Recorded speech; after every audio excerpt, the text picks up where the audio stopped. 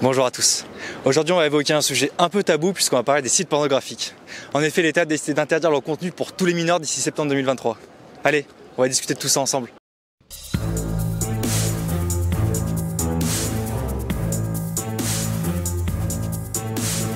Bonjour madame. Bonjour jeune homme.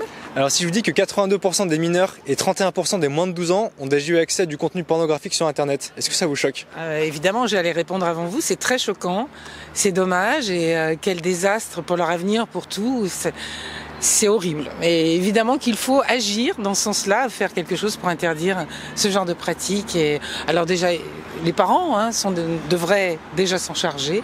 Mais si le gouvernement peut faire quelque chose, eh ben, je suis à fond pour. Bah oui, en effet, c'est choquant, mais euh, j'ai entendu dire que le- la seule restriction qu'on allait mettre, c'était euh, une limite d'âge sur, euh, sur les sites pornographiques. Je me pose juste de la question de, l'efficacité, vraiment. Euh, sur- surtout que maintenant, on peut y avoir accès euh, avec des VPN, peut-être. Donc, euh, est-ce que euh, c'est vraiment utile? Bah, moi, ça me choque et ça me choque pas. C'est-à-dire que on le sait parce que quand on en parle autour de nous, on voit très bien que les gens, même quand on avait nous 16 ans, 15 ans, 12 ans, on savait très bien que nos amis en regardaient ou que nous-mêmes on en a regardé. Donc ça me choque pas et en même temps ça me choque parce que surtout quand on grandit, on se rend compte qu'on est très jeune, à 12 ans, à 15 ans. euh, Sur le moment, on s'en rend pas compte, mais quand on commence à avoir 25 ans, on se dit bien, on était vraiment jeune. Donc ça, ouais, ça choque. Je pense que ça donne une très mauvaise image en fait du rapport entre les hommes, les femmes ou les femmes ou les hommes euh, entre eux, que ce soit euh, toute la communauté LGBT. euh, et je pense que c'est vraiment pas une bonne chose que les plus jeunes aient accès à de la pornographie, ça c'est clair et net. Bonjour monsieur. Bonjour monsieur. Alors si je vous dis que 82% des mineurs et 31% des moins de 12 ans ont déjà eu accès à du contenu pornographique sur Internet, est-ce que ça vous choque? Est-ce que c'est un problème pour vous? Euh, bah, D'une part, ça me choque et euh, deuxièmement, ça me, ça me paraît euh, dangereux euh, qu'il puisse y avoir des dérives comme ça sur le net pour les mineurs. Parce que je sais qu'il existe le code parental. Alors je sais pas si ça peut être activé sur Internet. Mais euh, je trouve que c'est euh, très dangereux, surtout à notre époque où on voit beaucoup de choses malheureusement euh, pas tellement jolies quoi. Question un peu, euh, je fais un peu l'avocat du diable, pourquoi est-ce que vous dites que c'est horrible du coup? Bah, c'est horrible pour un enfant que de découvrir euh, la sexualité aussi moche sur des sur des médias, alors que ça doit être découvert tellement plus joliment ailleurs et euh, en- encadré. Enfin, euh, voilà. Et puis c'est et puis en plus que, certains adultes l'utilisent et utilisent les enfants, etc. C'est une dérive, c'est une vraie dérive et c'est un drame pour la jeunesse. Vraiment, ça peut gâcher une vie. euh, ils ont une notion de l'amour qui est complètement dévoyée, qui n'est plus la, la, vraie, la réelle, quoi. Enfin, Vous pensez que ça peut avoir des conséquences sur le développement du cerveau, le développement des relations entre les hommes et les femmes, euh, la sexualité en général, dans les couples? Oui, c'est clair. Bah, je pense que ça peut aussi mettre beaucoup de pression euh, chez les hommes comme chez les femmes et, euh, et transmettre euh, bah, des fausses idées, des, injonctions. Et ouais, ça peut mettre pas mal de pression, je pense. Bah, sur le cerveau, je sais pas, d'un point de vue physiologique, je saurais pas dire parce que j'ai aucune compétence et puis de toute façon, tout a un, un lien un peu psychosomatique, tu vois. Mais après, c'est comme tout, que ce soit le porno, que ce soit les films, tout, euh, tout crée des biais en fait, tout crée des biais au cerveau. Le problème du porno, c'est que ça va créer des biais plutôt violents, plutôt discriminants, surtout envers les femmes. Enfin, quand je parle du porno, je veux dire du porno, on va dire pas amateur, on va dire vraiment du porno euh, cinématographique. Ça va créer vraiment des, euh, voilà, des biais qui vont être violents, pas forcément des trucs qui vont juste formater ou ça pourrait formater sur des choses plutôt positives. Là, ça va formater à des, à des comportements qui vont être plutôt néfastes. Est-ce que vous pensez du coup que c'est plus à l'État, via l'éducation nationale, ou plus aux parents de sensibiliser? Déjà, je pense qu'il devrait y avoir des, des cours d'éducation arrivé à un certain âge. Ça, c'est une certitude. euh, C'est une certitude. Il est censé y en avoir, je crois, trois heures de cours, il me semble, pour les plus jeunes, euh, donc d'éducation sexuelle, et ça, c'est absolument pas respecté par les profs. Donc déjà ça. Parce que même c'est assez 3 heures. euh, Ouais, même 3 heures, c'est que dalle. Euh, je pense aussi qu'il y a une, euh, un point sur l'éducation en général du rapport entre les hommes et les femmes, en fait. Euh, la notion de respect, euh, je pense que la pornographie présente le, corps plus comme un objet.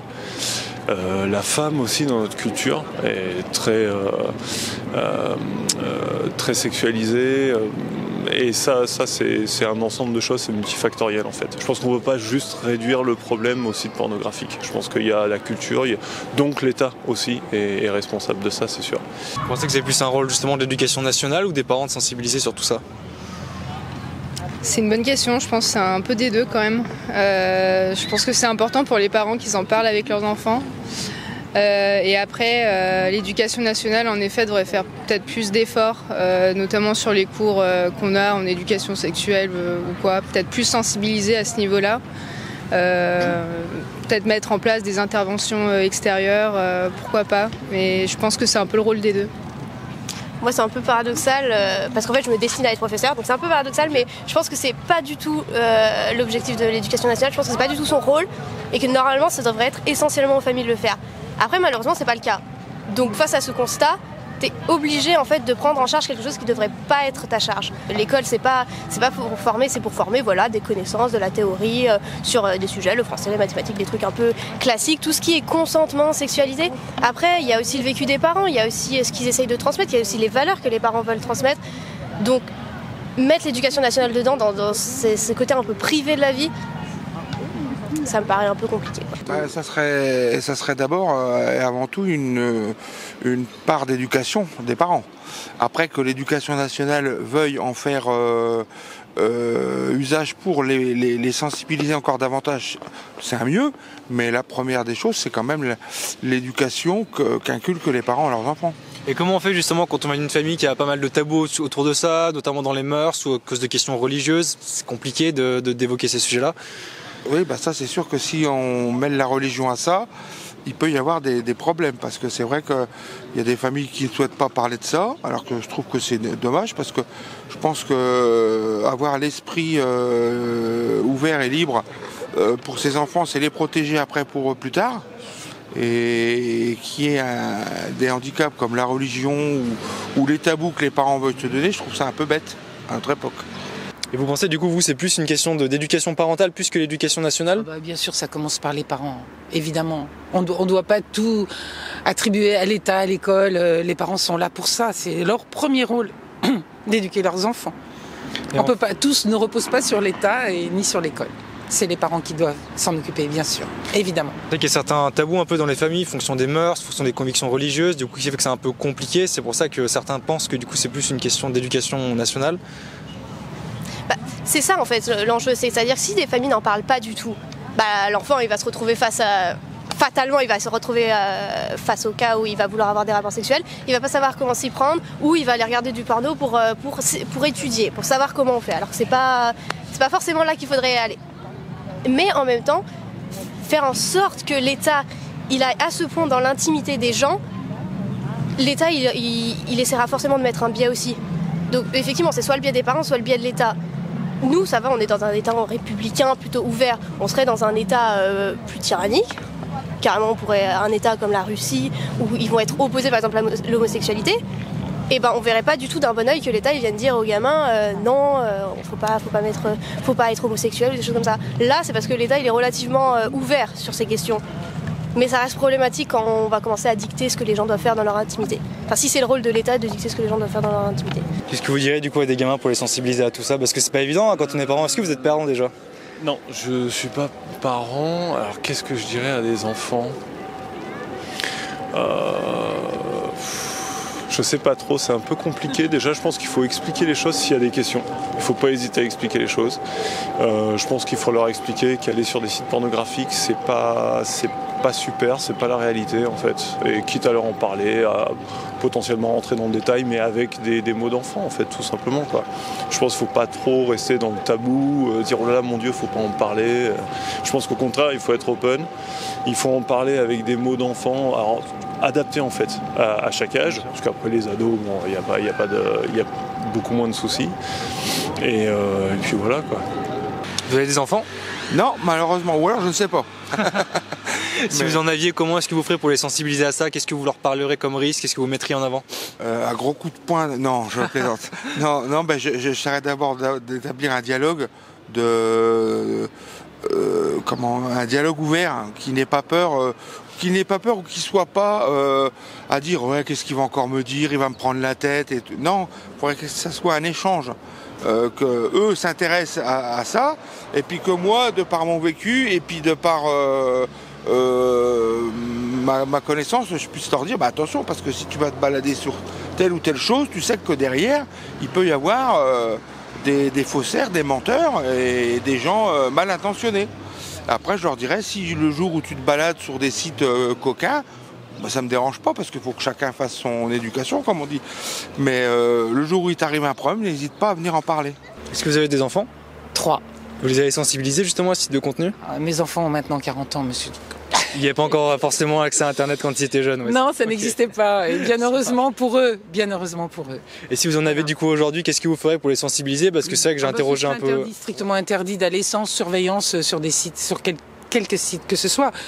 Et euh, voilà. Après, on connaît les jeunes, hein, interdire et on y va quand même. Hein. Mais bien sûr, ils iraient en cachette, etc. Il faut verrouiller, il faut mettre, des, faut mettre des, des barrières, des choses pour qu'ils ne puissent pas le faire, vraiment. Vraiment.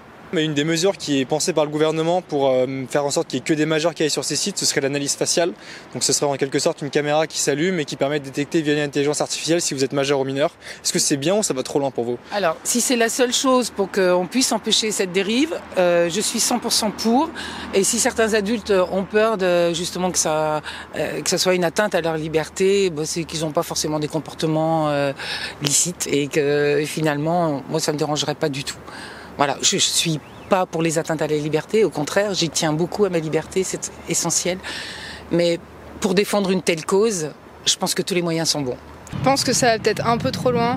Euh, je me pose la question sur euh, enfin, le côté privé des données. Quoi. Euh, puis ça, c'est facilement, on peut facilement tricher, je pense, avec ça. Enfin, dans ce cas-là, on peut mettre, je sais pas, imprimer la photo d'un adulte ou, enfin, à mon avis, ça, va un peu loin et le, cœur du problème, c'est plutôt peut-être la le manque de sensibilisation euh, sur ce sujet plutôt que essayer de traiter les conséquences.